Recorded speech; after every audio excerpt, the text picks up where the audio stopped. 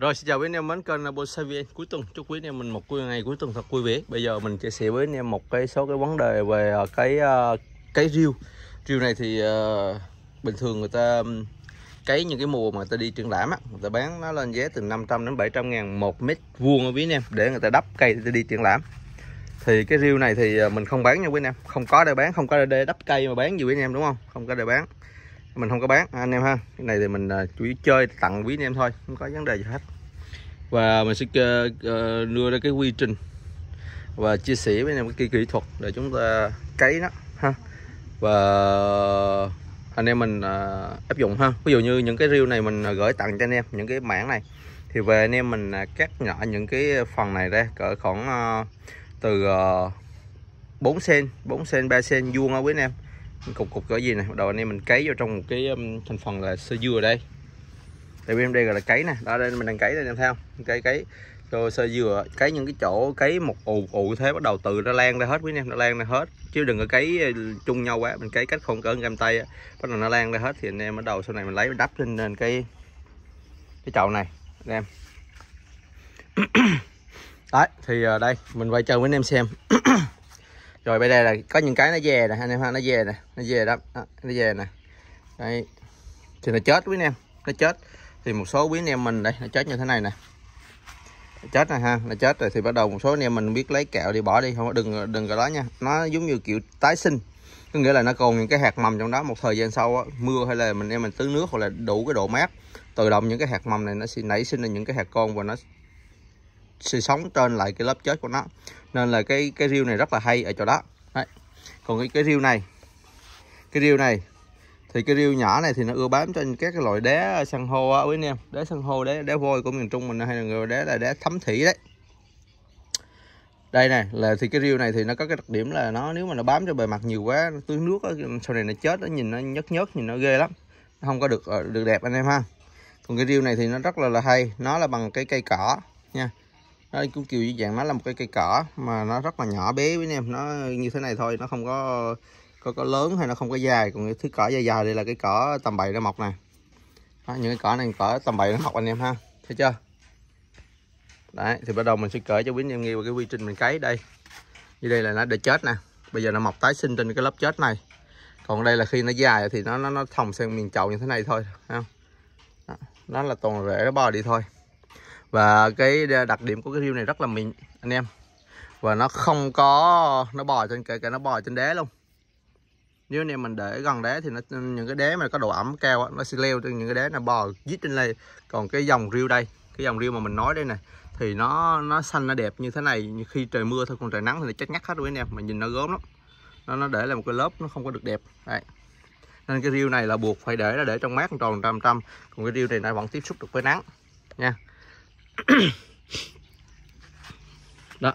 Và cái độ nước của cái riêu này nó cần một cái độ độ ẩm cao. Ví dụ như là buộc anh em mình phải tưới nước là là là là là là, là, là ngày hai lần đến ba lần. Còn nếu không chúng ta không tưới nước được ngày hai ba lần thì chúng ta phải có một cái cây cái bộ tàn của nó nó chia mát như thế này thấy mát không?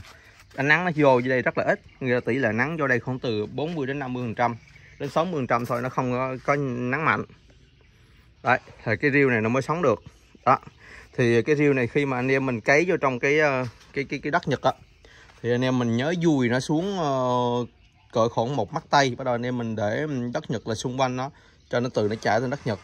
Cái đặc điểm của cái riêu này hôm trước có làm video là cái độ bám rễ của nó xuống không quá hai mắt tay. Có nghĩa là nó chỉ bò trên mặt thôi chứ nó không đi xuống dưới sâu trong cái chậu của mình nó ghim cho nó nó ăn gì hết á. Không có nó, nó hẹn nói chung là nó sử dụng một cái lớp phân đất nhật nhẹ nhẹ ở trên nó lấy rất dinh dưỡng thôi. Đấy và khi mà nó bò đến một cái mức độ dày quá thì uh, nó len nhau bắt đầu nó già nó tự nó chết. Nó chết sau đầu nó tự nó tái sinh nó mọc lại trên cái bộ cỏ này. Có nghĩa là chúng ta cấy lúc đầu nhưng mà lúc sau thì cái cái cái cái chậu này luôn luôn có cỏ. Anh em không bình thường anh em thấy một tảng như thế này nè khi mà mình cấy vào chậu không phải là mình xách nguyên một tảng như gì rồi nó gần kẻ một mét vuông mình cấy cái gì thì thì nó đâu có có có có, có khủy đâu quý anh em mình cấy chút thôi mình cấy một khóm nhỏ vô từng khóm từng khóm từng chấm từng chấm. Giờ nó từ nó lan tràn ra quý anh em ha nó lan tràn ra. Kín cả cái một cái chậu. Đấy.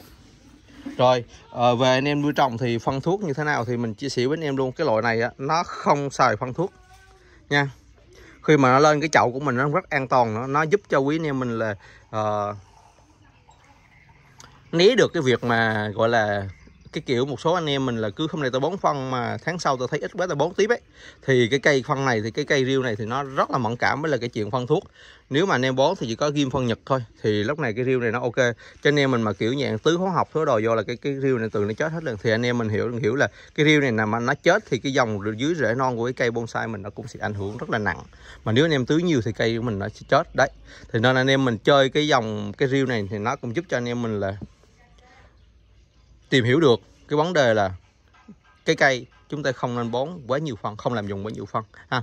Cái này thì nó chỉ xài đất nhật thôi, nước tưới đầy đủ là nó sống thôi chứ không cần phân hết. Còn anh em có thích anh em phun b 1 hay là kích lé bón rễ vô đó, còn anh nó sử dụng là trên cái nền đất mặt cỡ khoảng hai ngón tay của mình là tầm cỡ khoảng 5 cm đến 6 5 cm đến 5 cm rưỡi 6 cm á, là nó sử dụng trên cái bề mặt đó thôi, chứ nó không có đâm sâu xuống dưới chậu, nó đi với rễ, là nó lấy, nó ăn, nó tranh giành vì cái phân của cái cái chậu cây của mình hết.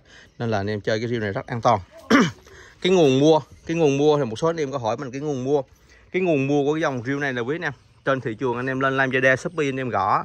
Nó có cái rêu giống như này, người ta gọi là cỏ trân châu. Nhưng mà nó không đúng nha quý anh em. Mình mình có mua thử gì để mình ương nhiều, số lượng nhiều để mình à, bán cho anh em nhưng mà không có được mua về là ương sau này nó ương nó ra như thế này nhưng mà khoảng dài từng sâu đầu nó lớn nó cao nhìn kinh khủng lắm anh em nó không có phải như cái riêu này.